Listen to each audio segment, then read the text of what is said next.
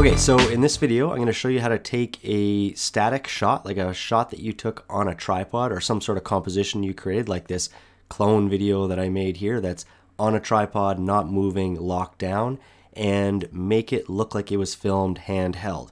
Now we could go into our clip and then go into effect controls and start animating our position scale and stuff to kind of manually move your clip around to make it look like it's moving. Or another easy way to do it is to just film anything handheld. So I'm just filming my backyard here handheld, a different shot months later, and combine it with the effect called warp stabilizer. So warp, type in warp, and you're gonna see warp stabilizer right here. But you can't just drag it onto the clip.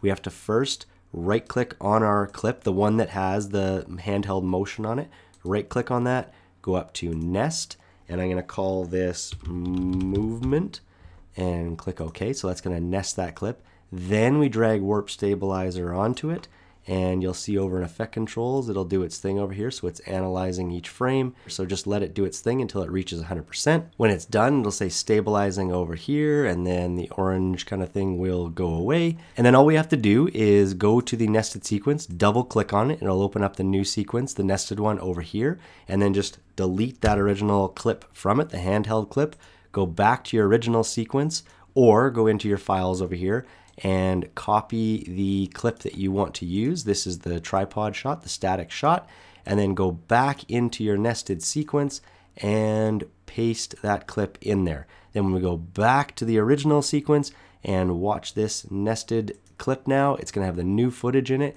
and it's going to make that static shot look like it was filmed handheld. And just so you know, you can also still play around with Warp Stabilizer over here.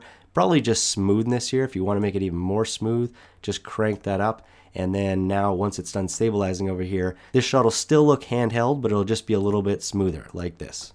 And that's how you can turn a static shot into a handheld looking shot by using Warp Stabilizer in Premiere Pro.